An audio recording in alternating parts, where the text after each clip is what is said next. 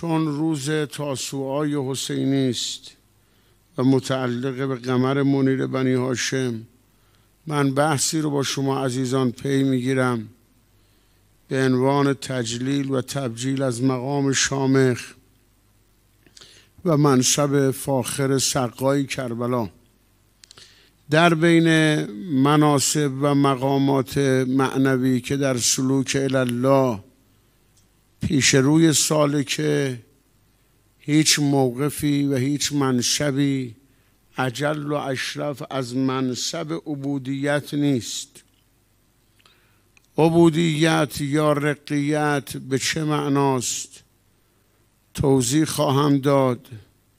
ولیکن اجالتا این مطلب روشن باشه که هر تنابنده و دیار بشری که زیر این آسمان مینایی به هر مقامی از مقامات معنوی نائل شد از رهگذر عبودیت و به واسطه این منشب خطیر بود. شما ملاحظه بفرمایید که وقتی ما القاب و اوصاف سید انبیا رو فهرست می‌کنیم در تمام موارد وصف عبودیت مقدمه بر همه اوصافه. این نمازی که ما می‌خونیم ضمن اینکه یک رابطه است بین عبد و مولا یک رابطه معنوی معزال کل وصف یک مکتب هم هست یک مدرسه هم هست. در همین تشهدی که ما می‌خوانیم میگیم اشهد و ان محمدن عبده.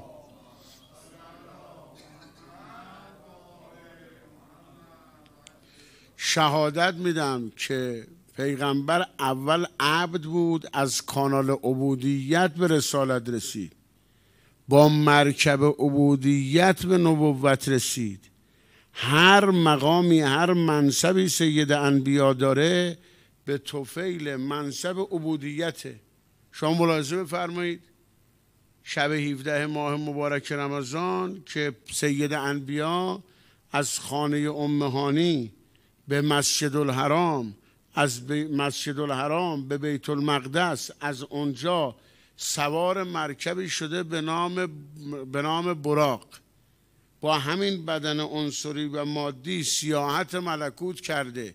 یکی یکی مراتب غیبی رو در نوردیده رسیده به جایی فوق عالم ملکوت به نام عالم جبروت. اونجا مرکب عوض شده براق تبدیل شده به رفرف.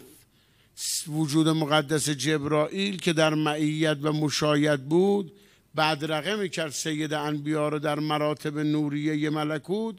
وقتی رسید به این موقف متوقف شد. سید انبیا فرمود که چرا معطلی چرا نمیای؟ گفت لو دنوت و انملتن له ترقتو از این جایی که هستم یه بنده انگوش بالاتر بیام همه موجودیتم میسوزه. من ویزام تا اینجاست. گفت جبریلا بپر اندر پیم. گفت رو رو من حریف تو نیم. رسید به مقامی که از اون مقام قرآن به مقام دنو و یاد کرده. دنوون و اقترابا من العلی العلا و کان قاب قوسین او ادنا. دنوون و اقترابا من العلی العلا چجور پیغمبر رفت رسید به اون مقام؟ با چه مرکب راهباری؟ با چه شهپری وسیله ای که پیغمبر توسط کرد و سیاحت ملکوت کرد چی بود؟ به ظاهر براغه و رفرفه اما در گزارشی که در سوره اسرا آیه یک خداوند داده مرکب پیغمبر عبودیت بوده. سبحان الذي اسرا بعبده لیلا من المسجد الحرام الى المسجد الاقصى الذي بارکنا حوله لنوریه من آیاته. نمیگه سبحان الذی اسرا به حبیبهی به به خیرتهی به مصطفی نه. همه القاب القاب سید انبیا هست. اما تعلیل به این وصف مشعر بالعلیت می‌خواد بگه منشأ سیاحت ملکوت عبودیت و رقیت پیغمبره. یعنی چون عبد بود به این مقام واصل شد. شما در مورد حضرت ارز می‌کنم عیسی روح الله علی نبینا و آله و علیه السلام قرآن وقتی وصف حال می‌کنه و ارز کنم شرح حال و تذکره رو میگه. مریم از را خب صدیقه بود و در بیت المقدس بسیار مورد خشم و غضب خاخام های یهودی بود. به لحاظ اینکه خب زن بود خاخام ها مرد بودن. زکریا با سلطنت معنوی که داشت با نفوذی که داشت مریم رو به عنوان خدمه بیت المقدس جا انداخته بود. خب اینا مترصد بودن یه انتقامی از مریم بگیرن. وقتی عیسی ابن مریم به دنیا آمد شرایط مهیا شد.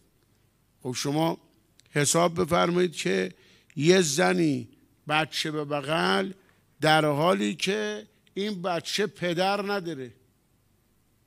قرآن شرایط روانی مریم رو بسیار سخت گزارش می‌کنه. میگه مریم ازرا وقتی که عیسی ابن مریم به دنیا آمد چون نمی‌تونست افکار سلواتی خط بفرمید.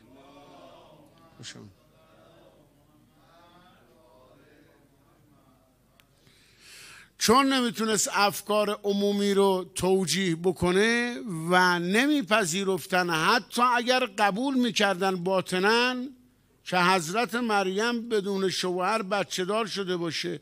چیزی که قرآن گزارش می‌کنه از احوالات مریم ظاهرا زبان حال مریمه که ای کاش من نسیان منسیا بودم به تاق به تاق نسیان و باد فراموشی سپرده می شدم اصلا اثری از من در هستی نبود. این صحنه رو نمی‌دیدم که یک بچه ای دیده تیز طلبکار خاخام ها مطالبه پدر بچه رو دارن و من تهید هستم و حرفم پذیرفته نیست. ذات اقدس احدیت از اونجایی که سنتش اعانه و امداده و عبادش رو در مزایق امداد می‌کنه فرمود که نگران این مسئله نباش. بسپر به من بزن بچه رو به بغل. برو در معرکه خاخام های ارز کنم خدمت شما بیت المقدس. اگر محاصرت کردن و مطالبه پدر بچه رو کردن شما بگو من روزه سکوت گرفتم اشاره کن به گهواره بگو هر چی می‌خواید بپرسید از خودش بپرسید. خب حضرت مریم صدیقه است بچه رو بغل کرد آمد در معرکه خاخام ها همونجور که قابل پیش بود دورش کردن شروع کردن توبیخ کردن. یا اخت هارون ما کان ابوک امرا سوءا تو یک نجیب زاده اصیل از یه خانواده ریشهدار تو تیر و طایفتون تو قوم و قبیلتون. کسی که قدم کج برداره نبوده. تو چطور بچه رو زدی به بغل. یه چیزایی هم میگی که ما نمی‌فهمیم. میگی این کلمت الله روح الله روح القدس در کالبد من دمیده. خب اگر یه مورد سابقه داشت اینم ملحق می‌کردن به همون مورد سابق. حضرت مریم اشاره کرد که از خود بچه بپرسید. اینا عصبانی شدن گفتن مسخره می‌کنی؟ کیفا نکلم من کان فل مهد سبیا. چجوری ما با بچه تو گهواره حرف بزنیم؟ تا اینو گفتن به ازن الله حضرت عیسی علی نبینا و آله و علیه السلام زبان گشود. اولین کلمه ای که گفت چی بود؟ گفت انی عبدالله. انی عبدالله. همه ارز کنم خدمت شما که مرکز سقل استدلال اینجاست شاهد مثال اینجاست. انی عبدالله. آتانی الکتاب و جعلنی نبیا و جعلنی مبارکن اینما کنت. یعنی چون عبدم خدا به من انجیل داد. چون عبد بودم اب ابرع الاکمه و الابرس به ازن الله. چون عبد بودم جعلنی مبارکن اینما کند همه اینا به توفیل عنوان عبودیته. این عبودیت رو ما مدعی هستیم. لاغر روزی ده مرتبه در نمازمون میگیم ایاکن نعبد یعنی ما عبد تویم و تنها عبودیتمون مال توه. این حدود و سقورش حد و اندازش جنس و فصلش چیه به قول آقایون منطقی؟ شما اگر بخواید عبودیت رو تعریف کنید من الان به شما میگم آقا عبودیتی که مرکب راهوار انسان برای نیل به مقاصد اعلای بشری است این به چه معناست عبودیت؟ بهترین کسی که این عبودیت رو معنا بکنه ذات اقدس احدیت خداوند در قرآن یه آیه توضیح داده. الان در نظامات معهود بین الملل نمی‌دونم گمان می‌کنم ظاهرا خرید و فروش برده قدغن باشه. اما سابقه بر این رایج بود. استرقاق می‌کردن. ارز کنم خدمت شما که می‌گرفتن. اینا رو به, نیرو، به عنوان نیروی خدماتی بیع و شرا می‌کردن. در معرض میذاشتن در از نظر فقه اسلامی و از نظر قانون همه دنیا عبد اون ارز کنم خدمت شما که برده ای که در اختیار بود خرید و فروش می‌شد همه شعونش که ضمن اینکه خودش مملوک بود همه تصرفاتش همه شعونش مملوک مولا بود. قرآن مثال می‌زنه. ضرب الله مثلا ضرب الله مثلا عبدا مملوکن لا یقدر علی شی. اینجا آیون ادبیات عرب علمای ادبیات عرب میگن نکره در سیاق نف یعنی اصلا هیچ قدرت بر هیچ چی نداره سلطنت بر هیچ چی نداره. آقایون فقها میگن مسلوب العباره قولش کلا قوله فعلش کلا قوله. کعلکم شی... یا شیئا مذکورا. امضا کنه باطله مگر به اذن سید مگر با اجازه آقاش عبد اینه. زن گرفتنش زن طلاق دادنش بیع و شراش همه چی رو باید آقا امضا کنه. یه کسی یه برده ای رو خریده بود ورد خونه گفت چی می‌خوری؟ گو هر چی شما بدی. گفت چی میگوشی؟ گو هر چی بدی. کجا میخوابی؟ هر جا دستور بدی. گو عجب. یعنی تو اراده ای سلیقه؟ گو نه. من بردم من بندم. منو آزاد کن. بهت بگم چی میپوشم چی می‌خورم کجا میخوابم. یعنی در یک کلام برده کسی است که هیچ سلیقه ای زائقه ای اراده ای اختیاری از خودش نداره. ارادش محو در اراده مولاست زب در اراده مولاست. این میشه عبودیت. اگر کسی به این مقام رسید اگر کسی این منصب رو تصرف کرد همه عالم مطیع او خواهم بود. روز قمر بنی هاشمه. عباس ابن علی ابن ابی طالب که به عنوان نفر دوم نهزت و رهبر بین المللی انقلاب آشورا که اقلیت ها در تمام دنیا به اون متوسلن. ما دیروز از اینجا چی می‌رفتیم پایین؟ تو مدرس همین میدون هفتتی حسینیه سارالله. داشتم نشون می‌دادم به این رفیقم. گفتم این گوسفنده رو می‌بینی؟ گفاره گفتم همه اینا مال ارمنیاست. مال طرفداران عیسی ابن مریم ممکنه سید و شهدا رو نشناسن پیغمبرم نشناسن. خیلی اسم بچه هاشون عباس دست توسلشون هم به دامن این آقاست. این آبرو رو عباس ابن علی ابن ابی طالب از کجا آورده؟ می‌خوام یه دو تا دونه از مقامات قمر بنی هاشم رو براتون بگم. ببینید چه خبره. بعد از حادثه آشورا وجود مقدس زین العابدین در مدینه پسر قمر بنی هاشم رو دید. هست عباس دو تا بچه داره دو تا پسر داره که اینا کربلا نبودن. به نام های فضل ابن عباس و عبیدالله ابن عباس. وجود مقدس زین العابدین به عبیدالله ابن عباس در یه ماجرای فرمود یا عبیدالله رحم الله امی العباس. در اون داستان معروف فرمود که سه روز سه جا به سه شخصیت کنار سه تا بدن سخت گذشت. روز احد کنار بدن مسلح شده اموم حمزه به جدم پیغمبر. روز موته کنار بدن دست از جدای جناب جعفر به بابام علی. روز آشورا کنار نهر الغم کنار بدن باباد خیلی به بابای من سخت گذشت. خیلی به بابای من تلخ گذشت. بعد فرمودن رحم الله امی العباس. ان امی العباس کان نافذ البصیره. خدا خدا عموم عباس رو رحمت کنه. عموم عباس نافذ البصیره بود. نافذ البصیره یعنی چی؟ یعنی زیر این آسمان مینایی. خدای چشمی به عباس ابن علی عنایت کرده بود که به هر چیزی تو پهنه خاک نگاه می‌کرد قیمت دستش بود. ارزون نفروخ گرون نخرید. هر چیزی رو در موقف خودش دید. رحم الله امی العباس. خدا عموم عباس رو رحمت کنه. ان لامی العباس درجتن یقبته بها جمیع الاولین والآخرین.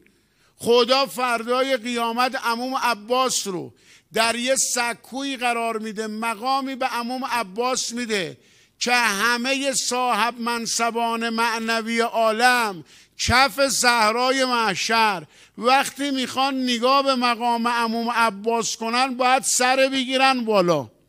این مقام عموم عباسه. رحم الله امی العباس ان لامی العباس جناحین یطیر بهما فی الجنه. خدا عموم عباس رو رحمت کنه. خدا عوض دو دست قلم شده عموم عباس. دو تا بال بهش عنایت کرده که در همه فضای ملکوت و بهش تیران می‌کنه. بال یعنی چی؟ بال یه تعبیر کناییه. قطعا ظاهرش مراد نیست. منظور بال پرنده نی. وقتی شما میگید ید الله فوق ایدیهم که کسی اگر قائل باشه خدا دست داره نجس اگه دست تر بشوری باید بری آب بکشی. یه تعابیری ما داریم میگن معول موجه. قطعا خلاف ظاهرش مراده. منظور که بال نی. شما میگی و جا عرب و الملکو صفن صف این در قیامت خداوند با ملائکه در صف ها میاد. اگر کسی قائل به مشی و مجیع پروردگار باشه قطعا از ربقه اسلام بیرونه. این ظاهرش مراد نیست. الرحمن علی العرش استوا یعنی خداوند مستعلیس مستویس بر عرش خودش. اگر کسی چون اینا مستلزم تجسم خداونده تجسم مستلزم مادی بودنه اگر کسی قائل باشه خدا دست داره یا خدا راه میره یا عرض کنم خدمت شما خدا رو عرشش نشسته حلال قاعده نجسه اصلا آیه قرآن اینا. اینا آیه قرآن ید الله فوق هم دست خدا دست خدا آقایون میگن کنایه از قدرت خداست. کنایه از سلطنت خداست. دست عباس یعنی چی؟ ان لامی العباس جناحین یطیر به هما فی یعنی چی؟ یعنی این که خداوند چنان سلطنتی به عموم عباس روز رستاخیز و در بهش داده. که همه فضای ملکوت تحت حیمنه و سیطره و سلطنت عموم عباسه. یعنی همه کسانی که در آفرینش قواره دارن اگر بخوان وایسن زیر دست عموم عباسن. ما چه می‌دونیم از قمر بنی هاشم؟ تا روز رستاخیز نشه تا خورشید قیامت نتابه. تا نشر دواوین و وضع موازین و تطایر الکتب نباشه مگه ما می‌فهمیم عباس ابن علی کیه؟ یه جملش اینه همه آبرودارای آفرینش وقتی خواستن با ابی عبدالله نرد عشق ببازن وقتی خواستن با ابی عبدالله عشق بازی کنن در بزم عشق حلقه محبتشون. از سمینترین و نفیسترین موجودیشون مایه گذاشتن. دیگه ابوابانانه بالاتر ما داریم. شما می‌تونی به رفیقت که خیلی دوستش داری به زنت به برادرت بگی بابا ننم فداد بشه. مطلقا امکان نداره شما بتونی بگی. اما با تیب خاطر تو زیارت آشورا میگی به ابی انت این زیارت آشورا از صفان به سلسله سند حدیث قدسیه. یعنی جبرائیل از لوح و قلم و ان الله تبارک و تعالی السلام علیک یا عبدالله. همه اهل بیت سر سفره رنگین و خانه پر الوان ای زیارت آشورا نشستن. همشون با شیشتانگ وجودشون گفتن. به ابی انت امام دوازدهم هم شبای جمعه میره کربلا دستشو می‌گیره به شباک. با همه وجودش با شراشرش با سلول سلولش میگه به ابی انت و امی حسین جان هم بابام امام اسگری هم مادرم نرجس خاتون هر دو فداد بشن. همه خوبای عالم. چرا؟ چون مستاق و بالوالدین احسان هاست. مستاق بر به والدین همه خوبای عالم میگن حسین جون بابا ننم پدر مادرم فداد بشه. تنها کسی که در پهنه خاک زیر این آسمان مینایی حسین ابن علی بهش گفت فدات بشم عباس بود. ما دیگه کسی رو نداریم. وقتی گفت یا اخا لقد زاغ صدری حضرت فرمود یه نگاه کرد فرمود ارکب بنفسی انت. سوار شو من فدای تو بشم. ابا عبدالله الحسین به کی گفته فدات بشم؟ کی عباس؟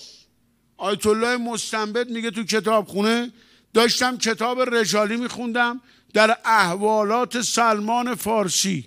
سلمان بحر لا ینزف سلمان یک اقیانوس ژرف کران ناپیدایی است. که اعماق این اقیانوس در دسترس کسی نیست.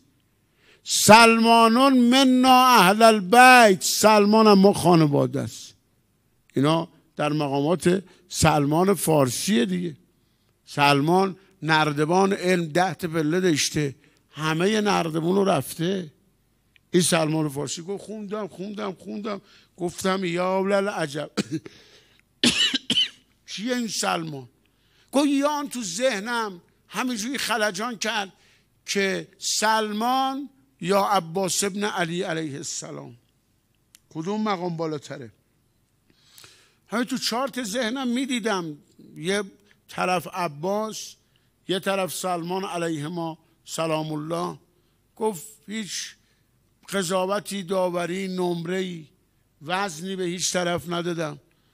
همینجور که داشتم فکر می‌کردم چشمم سنگین شد در عالم مکاشفه یا در عالم رویا. حالا هر عالمی گفت رئیس مذهب رو دیدم. گفت عرض ادب کردم به حضرت تلخ به من جواب میده. دیدم با غضب به من نگاه میکن گفتم آقا من خادم شما. من قلمم قدمم بیانم بیان بنانم همه چیم وقف شماست. چه کردم که استحقاق این تلخی و تندی رو پیدا کردم؟ حضرت یه نگاه به من کرد گفت مستنبت این چه قیاس باطلی بود که بین عموی من عباس و سلمان فارسی کردی؟ گفتم آقا نمره ندادم قضاوت نکردم داشتم نگاهشون می‌کردم. حضرت فرمود که اگه نمره داده بودی که بیچاره می‌شدی به دادت رسیدی.